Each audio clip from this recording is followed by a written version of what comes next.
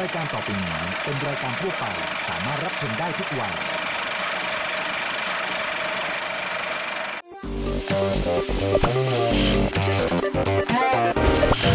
สนั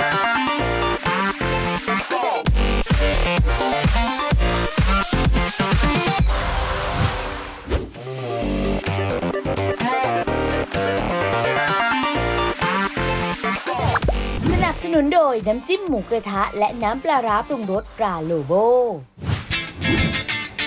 สวัสดีครับ พบกับผมเท็ดดี้อีกเช่นเคยนะครับ ในรายการเต็มปากเต็มคำนะครับ ทางช่อง Workpoint TV ทุกวันพุธเวลาบ่าย2โมง45 นาทีนะครับ เต็มปากเต็มคำเป็นรายการทำอาหารค่ะคุณผู้ชม ที่นานากับเท็ดดี้นะคะ จะทำเมนู 2 เมนู ความอร่อยก็ต้องคูณ 2 แน่นอน แต่มันสนุกตรงที่ว่าเราสองคนจะทำเมนูจากวัตถุดิบเดียวกันค่ะ ตอนนี้นะครับโจทย์อยู่ตรงหน้าของเราแล้ว เดี๋ยวเรามาลุ้นพร้อม ๆ กันดีกว่านะฮะว่าเปิดขึ้นมาจะเป็นอะไรนะครับมา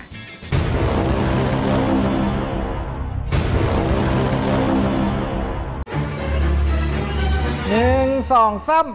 ปึ๊บ อันนี้เป็นผงชาไทยแล้วก็น้ำชาไทย โจทย์เลยก็คือชาไทยนั่นเองนะครับ ไม่ใช่ผักไม่ใช่แป้ง รอบนี้เป็นหนึ่งในตัวชา ชาไทยเนี่ยเอามาทำเมนูน้ำก็อร่อยมากๆแล้ว แต่คุณเชื่อไหมว่าชาไทยเอามาทำเมนูขนมก็อร่อยไม่แพ้กัน คุณแม่เคยเอาเมนู Basque burnt cheesecake เนี่ยนะคะรสชาไทยทำเมื่อหลายปีแล้วแหละ นานากินเสร็จแล้วครั้งนั้นยังรู้สึกว่ามันอร่อยมาก ๆ เลยอะ่ะ ก็เลยขออนุญาตเอาสูตรคุณแม่มาปรับนิดนึง แล้วก็จะชวนคุณผู้ชมทำเมนู Basque burnt cheesecake รสชาไทยในเวอร์ชั่นของนานากันค่ะว้าวว้าวอีกคนหนึ่งเขาแบบมาทำเป็นแบบเมนูขนมหวานอินเตอร์เลย แบบเดี๋ยวนี้เขาไปสายนั้นแล้วนะเป็นแบบ ไฮโซแล้วโอเคไม่เป็นไรฮะกินขนมหวานแบบง่ายๆทำง่าย ๆนะครับ สามารถทำกินได้ทำขายก็รวยนะฮะมาต้องมาทางเท็ดดี้ครับขนมปังปิ้งชาไทยไข่มุกครับจะมีขั้นตอนการทำยังไง เดี๋ยวเราไปดูพร้อม ๆ กันเลยครับ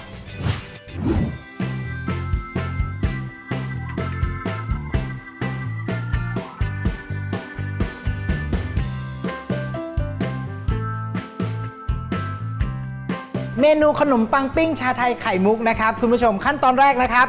ผมขอทำในส่วนของไข่มุกกันก่อนนะครับ หลายๆ คนถามว่าต้มไข่มุกยังไงให้นุ่มให้อร่อยนะครับ แล้วก็ข้างในเนี่ยไม่เป็นไตนี่วันนี้มาแถลงไขเลยนะครับ ต้มง่าย ๆ ตามที่หลังซองเขาบอกเลยครับ ต้มน้ำให้เดือดนะครับ แล้วก็ใส่ไข่มุกลงไป น้ำเดือดๆแบบนี้นะฮะใส่ลงไปเลยครับ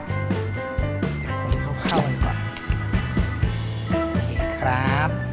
เอาละครับ คุณผู้ชมครับ ไข่มุกนะครับ เวลาต้มใช้เวลานานนิดนึงนะครับ ประมาณ 15-20 นาทีเลยตามที่เขาแนะนำข้างซอง มั่นใจว่าให้เขาสุกนะครับ หลังจากนั้นเรายกเขาขึ้นมานะครับ แล้วก็มาใส่ในตัวน้ำเชื่อมที่เราเตรียมไว้เลยครับเอาละครับคุณผู้ชมครับอันนี้นะคะก็คือไข่มุกที่เราต้มไว้จนสุกนะครับ ง่าย ๆเลยนะครับ คุณผู้ชมใส่น้ำเชื่อมลงไปนะครับ จากนั้นก็คนผสมให้เขาเข้ากันครับ เพียงเท่านี้นะครับ ตัวไข่มุกของเรานะฮะก็จะเป็นลูกสวยงามไม่ติดกันละ ได้แบบนี้ผมเตรียมไว้ก่อนนะครับ เดี๋ยวเรามาทำในส่วนของสังขยาชาไทยพร้อม ๆ กันครับขั้นตอนการทำสังขยาชาไทยนะครับคุณผู้ชมง่ายมากๆเลยนะฮะอันนี้เป็นโลกยุคสมัยใหม่นะครับเราจะมีสังขยาชาไทยสำเร็จรูปนะครับตามข้างซองเขาบอกยังไงทำตามอย่างนั้นครับอร่อยชัวร์อันนี้จะเป็นน้ำอุ่นนะครับเตรียมไว้ตามสัดส่วนที่เขาแจ้งมา เพียงแค่นี้เองครับ ผสม 2 อย่างให้เข้ากัน แบบนี้เลยนะครับ จากนั้นเราก็คนผสม เอาเป็นว่าวันนี้ผมนำเสนอเป็นไอเดียเมนูเนาะความน่ากินความน่าอร่อย แต่ถ้าใครอยากได้แบบสูตรแบบเจาะลึกจริง ๆ โอ้เข้าไปที่ยิ่งสักฟู้ดทีวีได้เลยครับ สูตรสังขยามีเป็นร้อยกว่าสูตรเลย แต่ว่าวันนี้นี่ง่ายจริง ๆ นะครับ เป็นผงสังขยาชาไทยสำเร็จรูปนะครับ ผสมกับน้ำอุ่น คนให้เข้ากันแบบนี้ เขาก็จะได้เป็นเนียนๆแบบนี้เลย นี่น่ากินมากนะครับ อาทิ้งให้เขาเย็นตัวลงนิดนึงเขาก็จะเซ็ตตัวลงนะฮะ เอาละเข้ากันดีแบบนี้ ผมพักทิ้งไว้ โอ้โห หอมมาก เหมือนชาไทยแบบทั้งถุงใหญ่เลยอยู่ในนี้นะครับสังขยาชาไทยเรียบร้อยแล้วนะครับ ไข่มุกเราก็ต้มแล้ว ตอนนี้เหลือแค่ขั้นตอนการทำขนมปังเท่านั้นนะครับ อะ อันนี้ผมจะตั้งกระทะอุ่นไว้ก่อนเลยนะฮะ เราจะจี่ขนมปังไว้ ถ้าคุณผู้ชมที่บ้านมีเตาถ่าน happy มากๆเวลาเอาขนมปังทาเนยไปแบบวางลงบนเตาถ่านนะมันจะแบบ มีไหม้ๆนิดนึงแล้วมันมีกลิ่นหอมเป็นเอกลักษณ์ แต่ถ้าไม่มีใช้กระทะแบบนี้ได้ครับ สบายๆเลย ระหว่างที่รอตัวสังขยาชาไทยเซตตัวนะครับ ขนมปังแบบนี้นะครับ คุณผู้ชมหั่นเป็นความหนาตามต้องการเลยนะครับแล้วก็ผมจะมีเนยสดชนิดเค็ม แนะนำว่าทิ้งไว้ที่อุณหภูมิห้องก่อน ถ้าใครรอไม่ได้ก็อาจจะเข้าไมโครเวฟได้ทีละ 5 วิ 5 วิ 5 วิ ค่อยๆ ถ้าเป็น 10 วิปุ๊บละลายแน่นอนนะครับอะนี่ทาแบบนี้เลยนะครับ พอมันแบบเป็นอาหารที่เราทำกินเองที่บ้านเนาะใส่เท่าไหร่ก็แบบย่อมได้นะครับเอาละส่วนตัวนะฮะถ้าผมผมเลือกได้ผมจะเลือกขนมปังที่หนาหน่อย เพราะว่าเวลาเอามาแบบจี่แบบเนี้ยข้างนอกเขาจะกรอบ แล้วข้างในเขาจะยังแบบมีความนุ่มอยู่ ถ้าเราเอาบางเลยมันก็จะกรอบแล้วก็หายไปเลยเนาะอะก็ขอแบบหั่นหนาๆหน่อยโอเค กระทะเริ่มร้อนนะครับ ขนมปังทาเนยลงไปจี่ได้เลยอะสองแผ่นพร้อมกัน อะอันนี้ผมมาทำสองด้านเลยคุณผู้ชม เพราะว่าจะได้กรอบๆทั้งสองด้าน อันนี้ขออวดนะดูมันต้องได้แบบนี้ มันต้องได้เสียงแบบนี้นะถ้าไม่ได้ก็คือจีต่อไปนะครับ นี่หนึ่งชิ้นเนยหอมๆแบบนี้ครับโอเคขออนุญาตนะโอเคอันนี้อีกหนึ่งชิ้น ผมวางอย่างนี้เลยนี่สังขยาชาไทยของเรานะครับนี่ทิ้งไว้ให้เขาเย็นตัวลงนิดหนึ่งพ่นได้แบบนี้เลย นะครับ อันนี้จะไปจิ้มกินหรือว่าเอามาราดเป็นซอสก็ได้หมดเลย ง่ายๆแบบนี้นะฮะหนึ่งช้อนพูนๆครับ ใส่ลงไปเลยหนึ่งช้อนไม่ล้นก็ต้องเป็น2ช้อนนะฮะเอาละเราต้องการให้เขาแบบไหลลงมาเนาะก็ค่อยๆเทย้ำไปแบบนี้โอเคน่ากินมาก จากนั้นนะครับ ไข่มุกของเรานะครับที่ต้มเตรียมไว้แล้วก็แช่ในน้ำเชื่อมนะครับ นี่เลย อ้โห มันน่ากินมากๆ เนาะมะแหมเข้ากันดีสุดๆ นี่นะครับ ก็จะมีช็อตที่ตัวไข่มุกไหลลงไปด้วย แบบไม่ได้ตั้งใจและตั้งใจ เรียบร้อยแล้วครับ คุณผู้ชมครับ กับเมนูของเท็ดดี้ในวันนี้นะครับ น่ากินมากๆเลย ปังปิ้งชาไทยไข่มุกครับ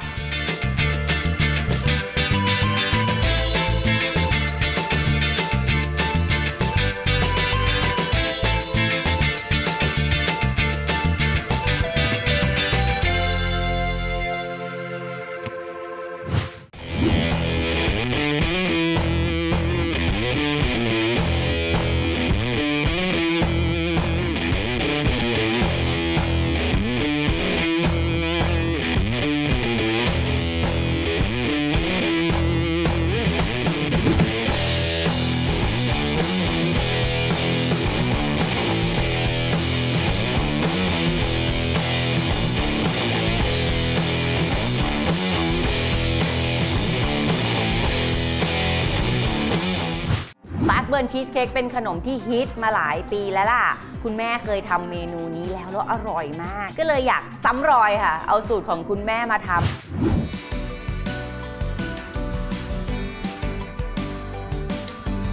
วันนี้เรามีเมนูมะเขือเทศกรอบกับซอสพาสต้ามาฝากกันค่ะ โกกิเติมเมนูเดิมๆ ให้กลายเป็นความอร่อยใหม่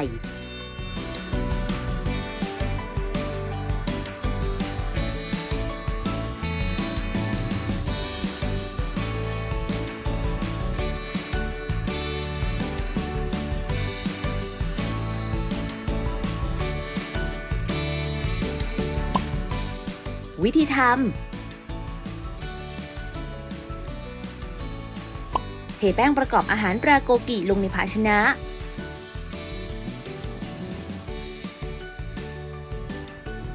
และเทเกล็ดขนมปังชุบทอดปลาโกกิลงในภาชนะ เตรียมไว้ค่ะ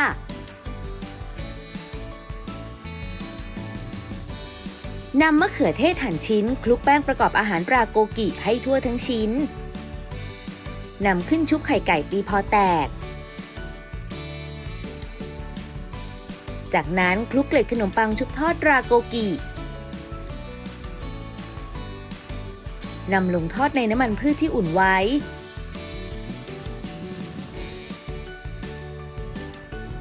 ทอดจนสุกเหลืองกรอบ ตักขึ้นพักให้เสด็จน้ำมัน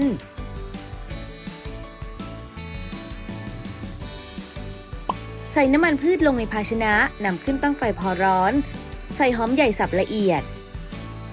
และกระเทียมสับละเอียด ผัดพอสุก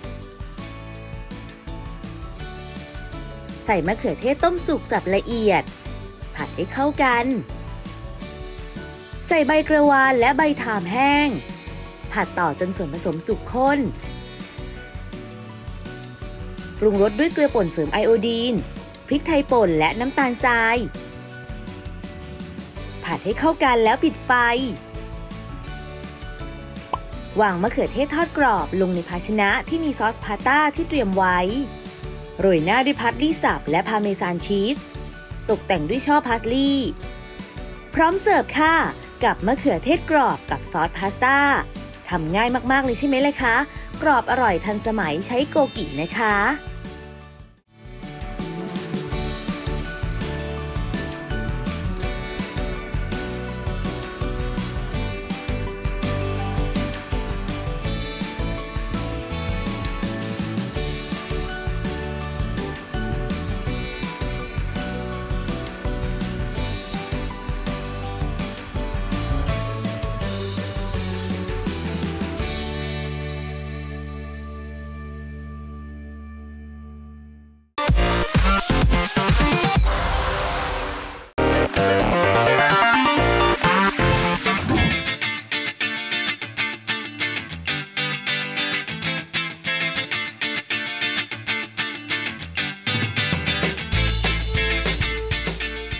บิร์นชีสเค้กเป็นขนมที่ฮิตมาหลายปีแล้วล่ะ คุณแม่เคยทำเมนูนี้แล้วแล้วอร่อยมาก ก็เลยอยากซ้ำรอยค่ะ เอาสูตรของคุณแม่มาทำแล้วก็เพิ่มกิมมิคเล็ก ๆ ด้วยการที่หน้าข้างบนเนี่ย ปกติจะแค่อบอย่างเดียว แต่วันนี้นานาจะโรยน้ำตาลสายที่ผสมกับชาไทยบดละเอียด แล้วก็เอาปืนพ่นเข้าไป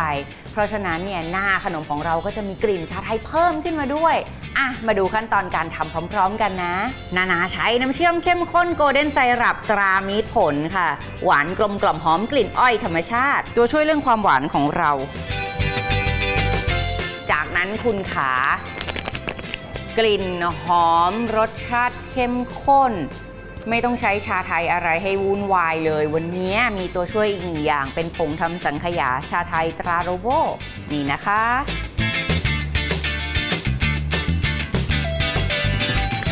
ครีมชีสอุณหภูมิห้องนะคะ เพราะถ้าเกิดใช้ครีมชีสเย็นจัดๆเนี่ย มันจะเป็นเม็ด ใส่ลงไป ถ้าคุณมี ตะก้อมือแบบนานาใช้แบบนานาก็ได้ ถ้าไม่มีก็ใช้ตะก้อมือที่เป็นแรงมือของเรานั่นแหละค่ะ เห็นไหมตอนแรกสีชาไทยไม่ออกเลย แต่พอละลายปุ๊บเนี่ยสีเขาออกมานวลๆแบบนี้อะส่วนผสมเหนียว ละลายดีแบบนี้แล้ว ใส่ไข่ลงไปค่ะ ทีละฟอง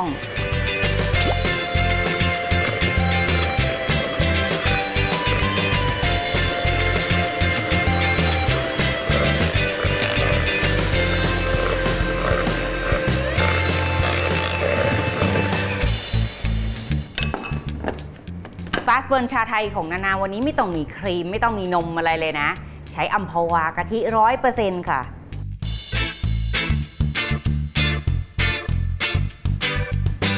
เกลือป่นเสริมไอโอดีนค่ะ นิดหนึ่งวานิลลาชนิดน้ำ Basque burnt วันนี้ของนานาเนี่ย ประยุกต์จากสูตรคุณแม่ค่ะ นานาใช้แป้งเค้กตราลิบบินนิดเดียวแบบนี้ จะทำให้เนื้อขนมของเราเนี่ยนะคะ เซ็ตตัวง่ายขึ้น อันนี้เป็น เป็นเคล็ดลับที่เจอเอง แล้วก็รู้สึกว่าโอ๊ยทำง่าย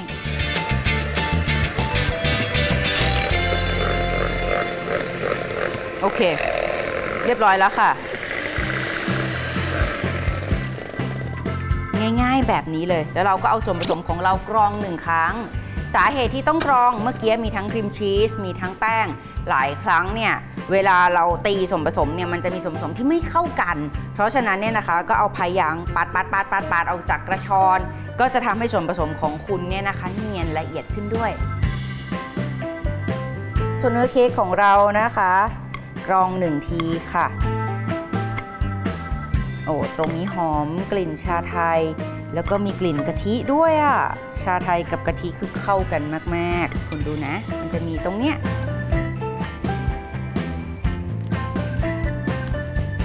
ใช้พายยางขูดขูดขูดขูดขูดแบบนี้เลยค่ะ ส่วนผสมก็จะเนียนละเอียดกริบเลย จากนั้นนะคะเตรียมพิมพ์ของเราไว้ ใส่กระดาษลงไปอย่างนี้เลยค่ะ แล้วก็ตรงพิมพ์เนี่ยนะคะ เป็นพิมพ์ปูกระดาษชื้น เพราะเราต้องอบเขานานนิดนึงค่ะไปใช้หมดเลยค่ะ เค้กตัวนี้ไม่ขึ้นฟูนะ เนื้อจะแน่น ๆ แต่ฉ่ำไปด้วยชีสเลยล่ะ เคาะเคาะเคาะไล่ฟองอากาศนะคะ จากนั้นนำเข้าเตาอบค่ะ ใช้เวลาอบนานนิดนึงประมาณ 40 นาที หลังจากอบเสร็จแล้ว อย่าเพิ่งใจร้อนหั่นนะ เพราะว่าเนื้อตรงกลางของเขาจะนุ่มมากๆ หั่นเสร็จปุ๊บเนี่ยทรงของขนมจะเละเลย สิ่งที่แนะนำเนี่ยคือทิ้งเอาไว้จนเย็นสนิทนะคะ จากนั้นแช่ตู้เย็นข้ามคืนไว้ วันรุ่งขึ้นเอามาหั่นนะโอ้โห เนื้อหน้าตัดเงากริบหั่นง่ายเลยล่ะค่ะ อบเสร็จแล้วนำออกจากพิมพ์ จากนั้นคุณดูสิ จะเสิร์ฟแบบนี้เลยก็ได้ หรือจะหั่นเป็นชิ้นก่อนเสิร์ฟ เทคนิคการหั่นเค้กนะคะ ให้หน้าตัดคมแล้วก็สวยทุกครั้งที่หั่นเช็ดมีด เพราะว่าเศษเค้กต่างๆเนี่ยมันจะขึ้นมามีดคมๆเช็ดมีดหนึ่งที ขยับ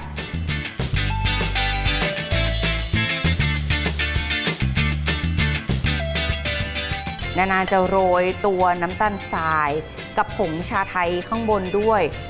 แล้วเวลาเอาตัวปืนเนี่ยนะคะ เบิร์นเขาเนี่ยหน้าก็จะกรอบๆด้วยละอันนี้เป็นผงชาไทยบดละเอียดนะคะ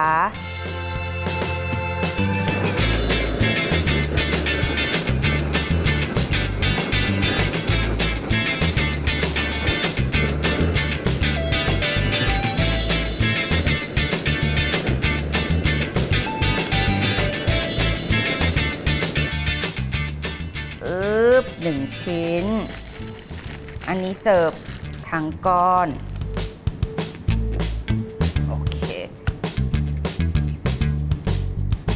โอเค ไหน ๆ จะมาทางนี้แล้วนะบัสเบิร์นของเรา เอาให้หนำค่ะ เติมวิปครีมจุก ๆ ลงไป แล้วราดด้วยน้ำตาลไอซิ่งนิดนึงค่ะ ส่วนตัวเป็นคนชอบมีอะไรเขียว ๆ อยู่ในจาน นี่ค่ะ นานาวางใบเตยลงไป2ชิ้นแบบนี้ เรียบร้อยแล้วกับบาสเบิร์นชีสเค้กชาไทยของนานาค่ะ จะเสิร์ฟเป็นชิ้นแบบนี้ หรือจะเสิร์ฟทั้งชิ้นใหญ่ ๆ แบบนี้ก็ได้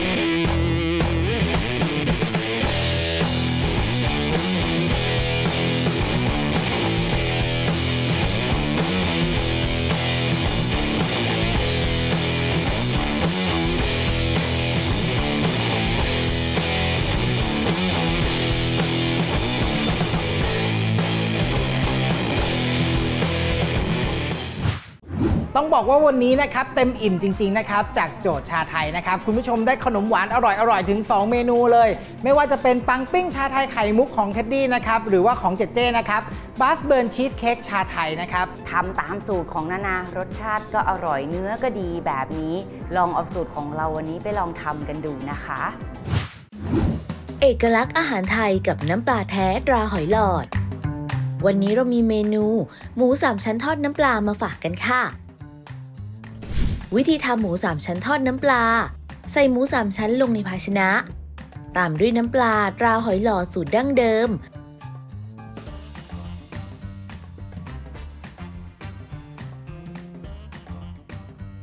คลุกเคล้าให้เข้ากันหมักไว้ 15 นาที ใส่แป้งอเนกประสงค์ลงในภาชนะ ตามด้วยแป้งข้าวเจ้าและแป้งข้าวโพด คนผสมให้เข้ากัน นำหมูสามชั้นที่หมักไว้ลงคลุกเคล้าพอเข้ากัน จากนั้นนำหมูสามชั้นลงทอดในน้ำมันพืชที่อุ่นไว้ ทอดจนสุกเหลืองกรอบ ตักขึ้นพักให้เสด็จน้ำมัน เตรียมไว้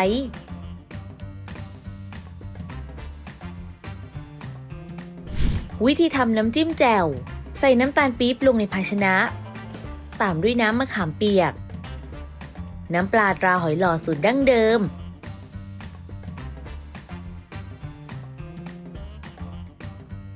และน้ำต้มสุก คนผสมให้เข้ากัน ใส่พริกป่น ข้าวคั่ว หอมแดงซอย ผักชีฝรั่งซอย และต้นหอมซอย คนให้เข้ากันอีกครั้ง เตรียมไว้ จัดหมูสามชั้นทอดน้ำปลาลงในภาชนะ รับประทานกับน้ำจิ้มแจ่วและข้าวเหนียวนึ่งสุก พร้อมเสิร์ฟค่ะกับเมนู หมูสามชั้นทอดน้ำปลา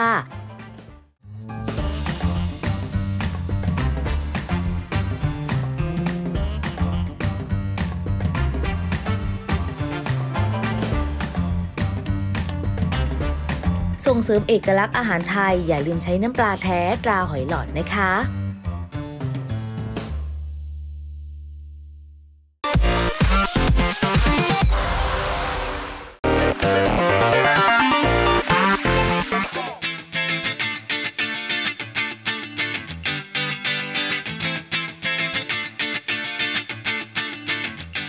ทย์ของเราในวันนี้นะครับ ชาไทยนะครับเท็ดดี้เอามาทำเป็นสังขยาชาไทยหอมๆแบบนี้นะครับเสิร์ฟคู่กับขนมปังปิ้ง แล้วก็ไข่มุกนะครับ เรียกได้ว่าเป็นขนมหวานที่น่ากินมากๆเลยนะฮะฝากคุณผู้ชมนะครับ วันนี้ดูอยู่อย่าลืมทำตามกันนะครับหนึ่งในเมนูที่หลายคนชอบทำแล้วก็เจอปัญหาว่าหน้าไม่เนียน เนื้อไม่เนียนเนี่ยนะคะ คือ Basque burnt คุณดูหน้าตัดเนื้อของนานาสิ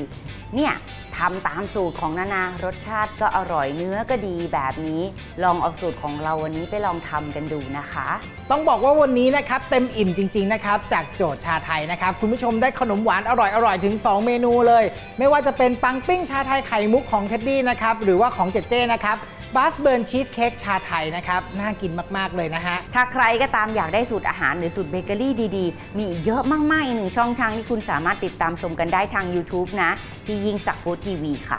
คุณผู้ชมดูอยู่นะครับ สูตรอร่อย ๆ แบบนี้นะฮะ ติดตามกันได้เลยนะครับ ที่รายการเต็มปากเต็มคำทุกวันพุธเวลาบ่าย2โมง45 นาทีทางช่อง Workpoint TV หมายเลข 23 นะครับสำหรับวันนี้เต็มปากเต็มคำขอตัวลาไปก่อนนะครับ สวัสดีครับ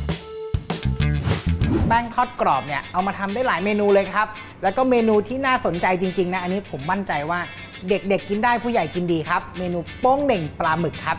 เราเอาแป้งทอดกรอบมาทำเมนูที่หลาย ๆ คนนิยมเอาไปทอดกรอบดีกว่า คือไก่ แต่เราเชื่อว่าเวลาทอดไก่อะหลายคนกังวลว่าวิทอดยังไงให้สีสวย และทอดยังไงให้กรอบนาน วันนี้มาดูเคล็ดลับการทำไก่กรอบของนานาจากแป้งทอดกรอบดีกว่าค่ะ กับเมนูสลัดแขกไก่กรอบ